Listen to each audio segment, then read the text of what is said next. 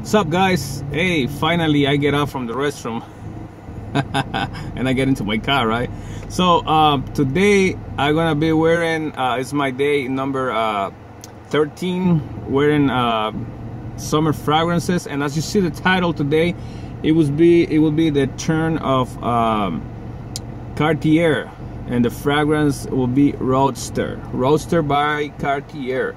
This fragrance has some patchouli, vanilla, it has some mint, bergamot, vetiver, laudanum. Man, what a fragrance. It's a very elegant fragrance, uh, especially for summer.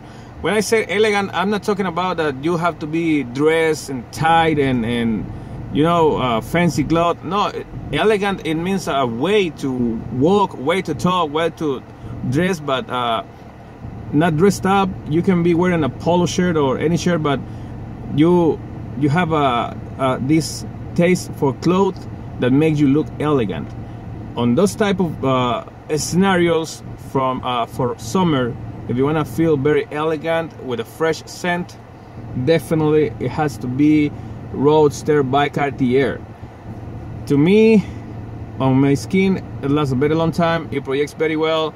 Uh, it gets you uh, very good comments. It's not a typical fresh fragrance uh, since it has this patchouli, minty, dirty vanilla type of vibe.